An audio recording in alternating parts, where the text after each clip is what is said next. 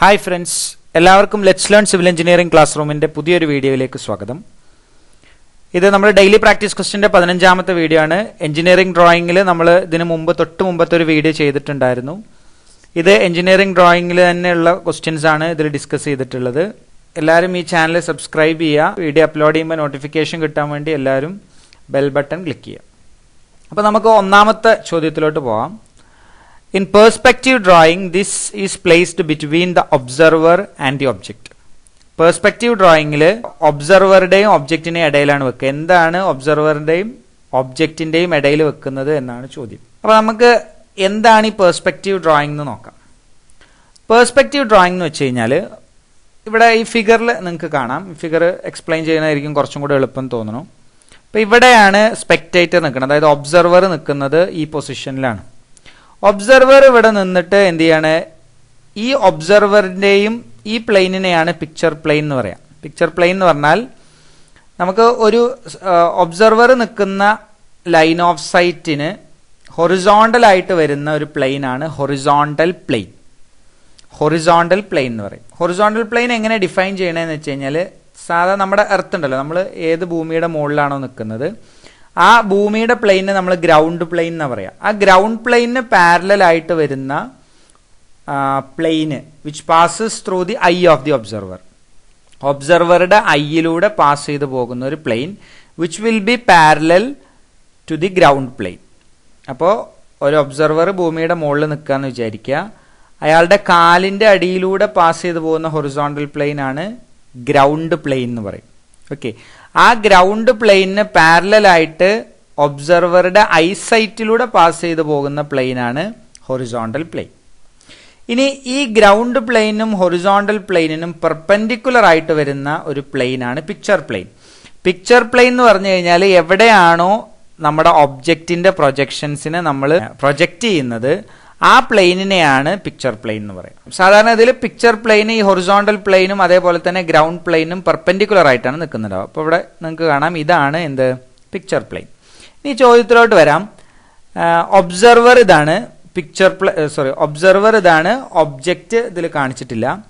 അപ്പോൾ ഒബ്ജക്റ്റിന്റെയും ഒബ്സർവറുടെയും ഇടയിലാണ് പിക്ചർ പ്ലെയിൻ ഉണ്ടാവുക. So the answer is in perspective drawing the plane of projection അല്ലെങ്കിൽ picture plane is placed between the observer and the object okay ഇതിലുള്ള ബാക്കിയുള്ള ഓപ്ഷൻസ് എന്താണെന്ന് നോക്കാം. ഒന്ന് വാനിഷിംഗ് പോയിന്റ് അല്ലെങ്കിൽ ഹൊറൈസൺ എന്ന് പറയും.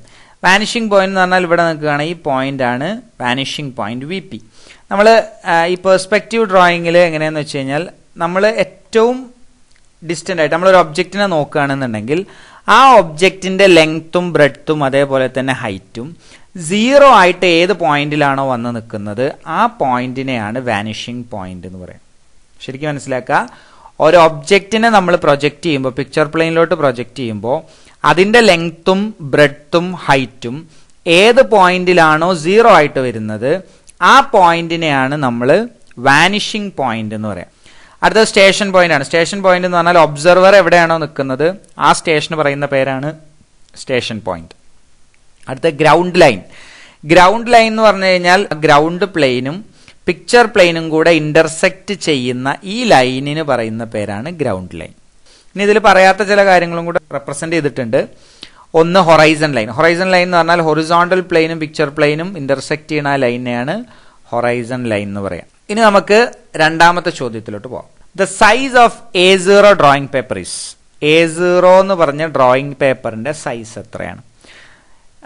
നമുക്ക് സാധാരണഗതിയിൽ ഡ്രോയിങ് പേപ്പറിന്റെ സൈസ് നമുക്ക് എന്ത് ചെയ്യില്ല? നമ്മൾ എല്ലാത്തിന്റെയും സൈസ് നമ്മൾ ഓർത്ത് വെക്കണം എന്നില്ല കാരണം നമുക്ക് എ ഫോർ ഷീറ്റിന്റെ ഡ്രോയിങ് സൈസ് അറിയാമെന്നുണ്ടെങ്കിൽ ഒരു പേപ്പർ നമ്മൾ ഡ്രോയിങ് പേപ്പർ എ ഫോർ ഉണ്ട് എ ത്രീ ഉണ്ട് എ ടു ഉണ്ട് എ വൺ ഉണ്ട് എ സീറോ ഉണ്ട്. ഓക്കെ ഇങ്ങനെ അഞ്ച് ഷീറ്റ് ഓഫ് പേപ്പറാണ് നമ്മൾ യൂഷ്വലി ഉപയോഗിക്കുന്നത്. A zero A one A two A three A four ഇങ്ങനെ അഞ്ച് പേപ്പറുകളുണ്ട് അപ്പോൾ ഇതിൽ എ ഫോറിന്റെത് മാത്രം നിങ്ങൾ പഠിച്ചു വെക്കുക. ഏറ്റവും എളുപ്പം അതാണ് എ ഫോറിന്റെ സൈസ് പഠിച്ചു വെക്കുക. ബാക്കിയെല്ലാം നമുക്ക് എന്ത് ചെയ്യാൻ പറ്റും? അതിൽ നിന്ന് കണ്ടുപിടിക്കാൻ പറ്റും. അപ്പോൾ എ ഫോർ ഷീറ്റിന്റെ സൈസ് എന്ന് പറയുന്നത് two ten by two ninety seven ആണ്. ഇരുന്നൂറ്റി പത്ത് ബൈ ഇരുന്നൂറ്റി തൊണ്ണൂറ്റേഴാണ് എ ഫോർ ഷീറ്റിന്റെ സൈസ് ഈ ഫിഗർ നോക്കുക നിങ്ങൾ. ഈ ഫിഗർ നോക്കിയാൽ നിങ്ങൾക്ക് പെട്ടെന്ന് മനസ്സിലാവും. എ ഫോർ എന്ന് പറഞ്ഞ ഷീറ്റിന്റെ size two ten by two ninety seven M M ആണ്. ഓക്കെ അതിന്റെ ഡബിൾ ആയിരിക്കും എ ത്രീ അപ്പൊ ആ പേപ്പർ വെച്ചിരിക്കുന്നത് നിങ്ങൾക്ക് കാണാം. ഇവിടെ ഇതാണ് എ ഫോർ ഇതാണ് A four paper A four പേപ്പറിന്റെ size two ten by two ninety seven ആണ്. അപ്പൊ ചെറിയ സൈഡ് ടു ടെൻ ഇത് ടു ടെണ്ണും ഇത് ടു നയന്റി സെവനും ആണ്. ഇനി അതിന്റെ ഇരട്ടിയാക്കുക അതിന്റെ ഇരട്ടി വന്നു കഴിഞ്ഞാൽ ഇതാണ് എ ത്രീ ഈ സൈസാണ് എ ത്രീ അപ്പോൾ ഇതിന്റെ ടു ടെൻ എന്ന് പറഞ്ഞത് ഈ സൈഡാണ് അല്ലേ? അപ്പോൾ ഈ സൈഡ് എത്രയായിരിക്കും? ടു ഇരട്ടി ആയിരിക്കും. അതായത് ഫോർ ട്വന്റി ആണ്. അപ്പോൾ എ ത്രീയുടെ സൈസ് എന്ന് പറഞ്ഞാൽ ഈ സൈഡ് ഫോർ ട്വന്റിയും ഈ സൈഡ് ടു നയന്റി സെവനും ആയിരിക്കും. എ ത്രീയുടെ സൈസ് നോക്കുക. Two ninety seven by four twenty ഇനി ഇതിന്റെ ഇരട്ടിയാണ് ഏറ്റവും ഉണ്ടാവുക. എ ത്രീയുടെ രണ്ടിരട്ടിയാണ് ടു ഉണ്ടാവുക ദാറ്റ് ഈസ് ഫോർ ട്വന്റി ഈ സൈഡ് എന്ന് പറഞ്ഞാൽ ഫോർ ട്വന്റി ഈ side five ninety four okay five ninety four എന്ന് പറഞ്ഞാൽ ഈ സൈഡ് വന്നതിന്റെ ഇരട്ടിയാണ്. ഇതേപോലെ തന്നെ ഇതിന്റെ രണ്ടിരട്ടിയാണ് എന്ത്?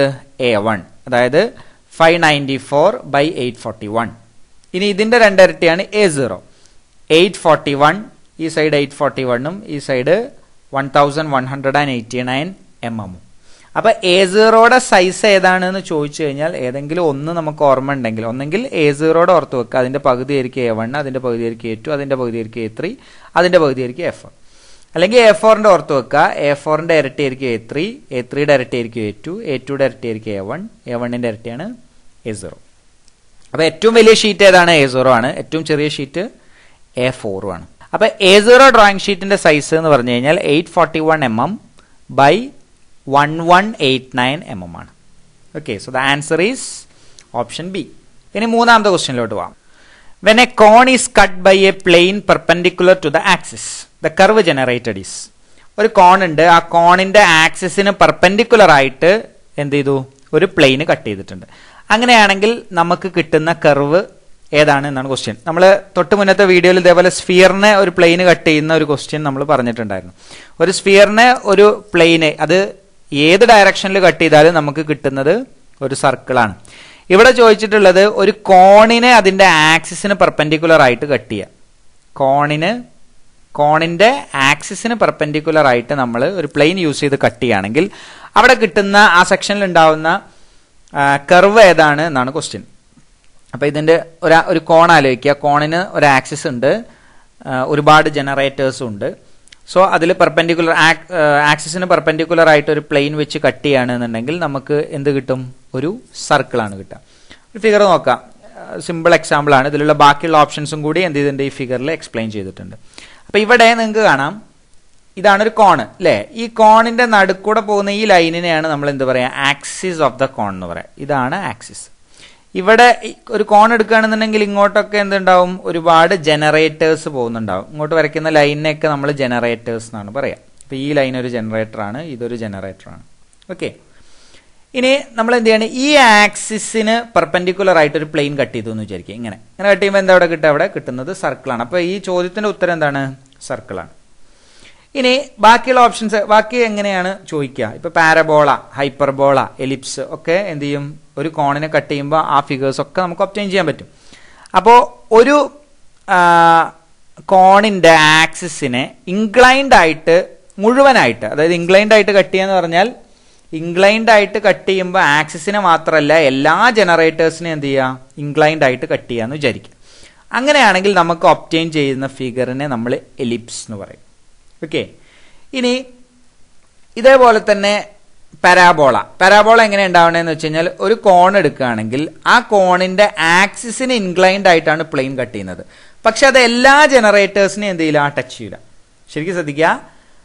ആക്സിസിന് ഇൻക്ലൈൻഡ് ആയിട്ടാണ് പ്ലെയിൻ കട്ട് ചെയ്യുന്നത്. പക്ഷെ എല്ലാ ജനറേറ്റേഴ്സിനെയും കട്ട് ചെയ്യുന്നില്ലെങ്കിൽ നമുക്ക് അവിടെ കിട്ടുന്ന ഫിഗർ എന്ന് പറയുന്നത് പരാബോളയാണ്.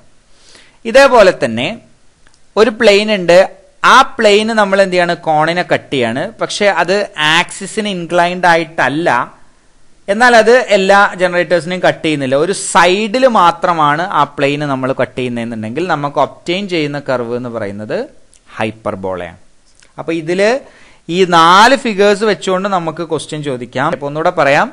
ആക്സിസിന് പെർപെൻഡിക്കുലർ ആയിട്ട് കട്ട് ചെയ്യുകയാണെന്നുണ്ടെങ്കിൽ കർവ് കിട്ടുന്നത് സർക്കിൾ ആക്സിസിന് ഇൻക്ലൈൻഡ് ആയിട്ട് എല്ലാ ജനറേറ്റേഴ്സിനെയും കട്ട് ചെയ്യുകയാണെന്നുണ്ടെങ്കിൽ നമുക്ക് കിട്ടുന്ന ഫിഗർ എലിപ്സ് ആക്സിസിന് ഇൻക്ലൈൻഡ് ആണ് പക്ഷെ എല്ലാ ജനറേറ്റേഴ്സിനെയും കട്ട് ചെയ്യുന്നില്ലെങ്കിൽ നമുക്ക് കിട്ടുന്നത് പരാബോള ഒരു സൈഡിലൂടെ മാത്രം കട്ട് ചെയ്യുകയാണെന്നുണ്ടെങ്കിൽ ആക്സിസിന്റെ ഒരു സൈഡിലൂടെ മാത്രം പ്ലെയിന് കട്ട് ചെയ്യുകയാണെന്നുണ്ടെങ്കിൽ നമുക്ക് ഒപ്റ്റെയിൻ ചെയ്യുന്ന ഫിഗർ ഹൈപ്പർബോള ഇനി നാലാമത്തെ ക്വസ്റ്റ്യൻ നോക്കാം. A line is parallel to V P and incline to H P H P V P ഒക്കെ നമ്മൾ മുമ്പത്തെ വീഡിയോയിൽ എക്സ്പ്ലെയിൻ ചെയ്തിട്ടുണ്ട്. Line is parallel to V P and incline to H P then it has both H T and V T no V T only H T V T no H T no V T and H T ഇപ്പൊ ഇവിടെ horizontal പ്ലെയിനും vertical പ്ലെയിനും നമ്മൾ നേരത്തെ discuss ചെയ്തിട്ടുണ്ട്. Question ഇങ്ങനെയാണ്. A line is parallel to V P vertical പ്ലെയിനിന് parallel ആയിട്ട് ഒരു ലൈൻ ഉണ്ട്. And incline to H P horizontal പ്ലെയിനിൽ ഇൻക്ലൈൻഡ് ആയിട്ടാണ് ആ ലൈൻ നിൽക്കുന്നത്. അത് വി പിക്ക് എന്താണ്? പാരലലുമാണ് അങ്ങനെയാണെങ്കിൽ അതിന് എച്ച് ടിയും വി ടി ഉണ്ടാകുമോ ഇല്ലേ എന്നൊക്കെയാണ് ക്വസ്റ്റ്യൻ അപ്പോൾ എന്താണ് ഈ എച്ച് ടി എച്ച് ടി എന്ന് പറഞ്ഞാൽ ഹൊറിസോണ്ടൽ ട്രേസ് ആണ്. ആൻഡ് വി ടി എന്ന് പറഞ്ഞാൽ വെർട്ടിക്കൽ ട്രേസ് ആണ്. എന്താണ് ഈ ട്രേസ് എന്ന് പറയാം? ഒരു ഫിഗർ നോക്കാം. അപ്പോൾ ഇവിടെ ഈ ഫിഗറിൽ കാണിച്ചിട്ടുള്ളത് ഒരു വെർട്ടിക്കൽ പ്ലെയിൻ ഉണ്ട് ഇവിടെ. ഇവിടെ ഒരു ഹൊറിസോണ്ടൽ പ്ലെയിനും കാണിച്ചിട്ടുണ്ട്. ഇപ്പോൾ ഈ ക്വസ്റ്റ്യനിൽ ചോദിച്ചിട്ടുള്ള ഒരു line parallel to V P V ഇതാണ് ലൈൻ കേട്ടോ ഇതാണ് ലൈന് ഈ ലൈൻ എന്താണ്? വി പിക്ക് പാരലൽ ആയിട്ടാണ് നിൽക്കുന്നത്. അത് എച്ച് പിക്ക് ഇൻക്ലൈൻഡ് ആയിട്ടാണ് നിൽക്കുന്നത്. അപ്പോൾ ലൈൻ ഇങ്ങനെയാണ് നിൽക്കുന്നത്. ഇങ്ങനെ ചെരിഞ്ഞിട്ടാണ് നിൽക്കുന്നത്. വി പിക്ക് പാരലാണ് എച്ച് പിക്ക് ഇൻക്ലൈൻഡ് ആണ്. അങ്ങനെയാണെങ്കിൽ അതിന് ഹൊറിസോണ്ടൽ ട്രേസും വെർട്ടിക്കൽ ട്രേസും ഒക്കെ ഉണ്ടോ എന്നാണ്. ട്രേസ് എന്ന് പറഞ്ഞു കഴിഞ്ഞാൽ ഇതിന്റെ ഈ ലൈനിനെ നമ്മൾ ഇങ്ങനെ എക്സ്റ്റെൻഡ് ചെയ്യുകയാണെന്നുണ്ടെങ്കിൽ ഇത് നമ്മൾ ഇങ്ങനെ എക്സ്റ്റെൻഡ് ചെയ്തു എന്ന് വിചാരിക്കുക. ഇങ്ങോട്ട് എക്സ്റ്റെൻഡ് ചെയ്തു. എക്സ്റ്റെൻഡ് ചെയ്യുകയാണെന്നുണ്ടെങ്കിൽ അത് എന്ത് ചെയ്യും? ഹൊറിസോണ്ടൽ പ്ലെയിനിൽ വന്നിട്ട് ഒരു പോയിന്റിൽ മീറ്റ് ചെയ്യും. ആ മീറ്റ് ചെയ്യുന്ന പോയിന്റിനെ നമ്മൾ ഹൊറിസോണ്ടൽ ട്രേസ് എന്ന് പറയും. ഹൊറിസോണ്ടൽ പ്ലെയിനിൽ മീറ്റ് ചെയ്യുന്നതിനെ ഹൊറിസോണ്ടൽ ട്രേസ് എന്ന് പറയും. അത് വെർട്ടിക്കൽ പ്ലെയിനിൽ മീറ്റ് ചെയ്യുന്നുണ്ടെങ്കിൽ അതിനെ വെർട്ടിക്കൽ ട്രേസ് എന്ന് പറയും. അപ്പം ഇങ്ങനെയാണ് ലൈൻ നിൽക്കുന്നത് എന്നുണ്ടെങ്കിൽ അത് വി പിയിൽ ഒരിക്കലും എന്തെങ്കിലും തട്ടൂല. കാരണം വി പിക്ക് പാരലായിട്ടാണ് ലൈൻ നിൽക്കുന്നത്. ഇത് എത്ര ഇങ്ങോട്ട് എക്സ്റ്റെൻഡ് ചെയ്താലും ഇത് എത്ര ഇങ്ങോട്ട് എക്സ്റ്റെൻഡ് ചെയ്താലും എന്തെങ്കിലും അത് വി പിയിൽ ടച്ച് ചെയ്യൂല. അതുകൊണ്ട് തന്നെ എന്തുണ്ടാവില്ല വെർട്ടിക്കൽ ട്രേസ് അതിനുണ്ടാവില്ല നേരെ മറിച്ച് ഈ ലൈനിനെ എക്സ്റ്റെൻഡ് ചെയ്യുമ്പോൾ ഹൊറിസോണ്ടൽ പ്ലെയിനിൽ മീറ്റ് ചെയ്യുന്നത് കൊണ്ട് അതിനെന്തുണ്ടാവും ഹൊറിസോണ്ടൽ ട്രേസ് ഉണ്ടാവും. അപ്പോൾ ഇവിടെ എന്താ ഈ ചോദ്യത്തിന് ഉത്തരം എന്ന് പറഞ്ഞാൽ ഒരു ലൈൻ വി പിക്ക് പാരലും എച്ച് പിക്ക് ഇൻക്ലൈൻഡും ആയിട്ടാണ് നിൽക്കുന്നതെന്നുണ്ടെങ്കിൽ അതിന് ഹൊറിസോണ്ടൽ ട്രേസ് ഉണ്ടാവും but no V T V T ഉണ്ടാവില്ല പക്ഷേ എന്തുണ്ടാവും? എച്ച് ടി ഉണ്ടാവും. So the answer is no V T only H T vertical trace ഉണ്ടാവില്ല ഹൊറിസോണ്ടൽ ട്രേസ് മാത്രമേ ഉണ്ടാവുള്ളൂ. ഇനി അഞ്ചാമത്തെ ക്വസ്റ്റ്യൻ നോക്കാം. A line is perpendicular to H P and parallel to V P it's front view is dash to X Y line ഒരു line H പിക്ക് perpendicular ആണ് and V പിക്ക് പാരലൽ ആണ്. അങ്ങനെയാണെങ്കിൽ അത് ഫ്രണ്ട് വ്യൂവിൽ എടുക്കുകയാണെന്നുണ്ടെങ്കിൽ ആ ഫ്രണ്ട് വ്യൂവിൽ എക്സ് വൈ ലൈനിന് എങ്ങനെയാണ് ആ ലൈൻ നിൽക്കുന്നുണ്ടാവുക എന്നാണ് ക്വസ്റ്റ്യൻ അപ്പോൾ നമുക്ക് എന്ത് ചെയ്യാം? ജസ്റ്റ് നമ്മൾ എങ്ങനെയാണ് ഈ ലൈന് നിൽക്കുന്നത് എന്നൊന്ന് നോക്കാം. ഇതാ ഇതാണ് ഫിഗർ അതായത് ഈ ഫിഗറിൽ നിങ്ങൾക്ക് കാണാം വി പി വെർട്ടിക്കൽ പ്ലെയിനിൽ എന്താണ്? വെർട്ടിക്കൽ പ്ലെയിനിന് പാരലൽ ആയിട്ടാണ് ഈ ലൈൻ നിൽക്കുന്നത് അല്ലേ ഈ ലൈൻ വെർട്ടിക്കൽ പ്ലെയിനിന് പാരലൽ ആയിട്ടാണ്. And perpendicular to H P H pick perpendicular ആയിട്ടാണ് നിൽക്കുന്നത് അങ്ങനെയാണെങ്കിൽ ഇതിന്റെ ഫ്രണ്ട് വ്യൂ ഫ്രണ്ട് വ്യൂ എന്ന് പറഞ്ഞു കഴിഞ്ഞാൽ നമ്മൾ എന്ത് ചെയ്യണം? ഇവിടെയാണ് ഒബ്സർവർ നിൽക്കുക. അതിപ്പോൾ ഫസ്റ്റ് ക്വാഡ്രന്റിലാണ് അല്ലേ ഫസ്റ്റ് ക്വാഡ്രന്റിൽ നിൽക്കുമ്പോൾ ഇവിടെ നിന്ന് ഇങ്ങോട്ട് ഒബ്സർവർ നോക്കുമ്പോൾ എങ്ങനെയാണ് അത് കാണുന്നത്? ഏത് എക്സ് വൈ ലൈൻ ഇതിലൊരു എക്സ് വൈ ലൈനിനെ കുറിച്ച് ഡിസ്കസ് ചെയ്യുന്നുണ്ട്. എക്സ് വൈ ലൈൻ എന്ന് പറഞ്ഞാൽ എച്ച് പിയുടെയും വി പിയുടെയും ഇന്റർസെക്റ്റിംഗ് പോർഷനെയാണ് ഇവിടെ ഫോം ചെയ്യുന്ന ഈ ലൈനെയാണ് എക്സ് വൈ എന്ന് പറയാം. ഓക്കെ അപ്പോൾ ഇതെങ്ങനെ നമ്മൾ ഫ്രണ്ട് വ്യൂവിൽ നോക്കുക? ഫ്രണ്ട് വ്യൂവിൽ നോക്കുക എന്ന് പറഞ്ഞു കഴിഞ്ഞാൽ നമ്മൾ എന്ത് ചെയ്യണം? ഈ ഭാഗത്ത് വന്ന് നിൽക്കണം. ഈ ഭാഗത്ത് വന്ന് നിന്നിട്ട് എന്ത് ചെയ്യണം? ഇത് ഇങ്ങോട്ട് നോക്കണം. ഇങ്ങോട്ട് നോക്കിയിട്ട് എച്ച് പി ഹൊറിസോണ്ടൽ പ്ലെയിനിനെ നമ്മൾ എന്ത് ചെയ്യണം? റൊട്ടേറ്റ് ചെയ്യണം. ക്ലോക്ക് വൈസിൽ റൊട്ടേറ്റ് ചെയ്യണം. ശരിക്കും ശ്രദ്ധിക്കുക. വെർട്ടിക്കൽ പ്ലെയിനിനെ നമ്മൾ ഒരിക്കലും റൊട്ടേറ്റ് ചെയ്യൂല. ഹൊറിസോണ്ടൽ പ്ലെയിനെ മാത്രമേ റൊട്ടേറ്റ് ചെയ്യുള്ളൂ അത് ക്ലോക്ക് വൈസ് ഡയറക്ഷനിൽ റൊട്ടേറ്റ് ചെയ്യും. അപ്പം അങ്ങനെ റൊട്ടേറ്റ് ചെയ്യുമ്പോൾ നമുക്ക് എന്ത് ചെയ്യും? ഒരു ഫിഗർ കിട്ടും. അപ്പോൾ ഇവിടെ നിങ്ങൾക്ക് കാണാം മുകളിൽ കാണിക്കുന്നത് വി പിയും എച്ച് പി എന്ന് പറഞ്ഞ പ്ലെയിൻ ഇങ്ങോട്ട് റൊട്ടേറ്റ് ചെയ്ത് കാരണം നമുക്ക് എന്ത് ചെയ്തു? എച്ച് പി ഇങ്ങനെയും കിട്ടി. ഇതിന്റെ പ്രൊജക്ഷൻ ഇങ്ങോട്ട് നോക്കുകയാണെന്നുണ്ടെങ്കിൽ എന്ത് ചെയ്യും? ലൈൻ ഇങ്ങനെ നിൽക്കുന്നുണ്ടാവും. ഓക്കെ ഫ്രണ്ടിൽ നിന്ന് നോക്കുമ്പോൾ ലൈന് ഇങ്ങനെ നിൽക്കുന്നുണ്ടാവും. എക്സ് വൈ ലൈനിന് അത് എങ്ങനെ കിടക്കുന്നത് എന്നാണ് question line perpendicular to H P and parallel to V P it's front view is dash to X Y line X Y ലൈനിന് അതെങ്ങനെയാണ് കിടക്കുന്നത്? എക്സ് വൈ ലൈൻ എന്താണ്? ഈ ലൈൻ കിടക്കുന്നത് പെർപെൻഡിക്കുലർ ആയിട്ടാണ്. അപ്പോൾ ഇതിന്റെ ആൻസർ ഓപ്ഷൻ ബി ആണ്. The line is perpendicular to the X Y line എല്ലാവർക്കും ഈ പോർഷൻ മനസ്സിലായി എന്ന് വിചാരിക്കുന്നു. So thank you for watching the video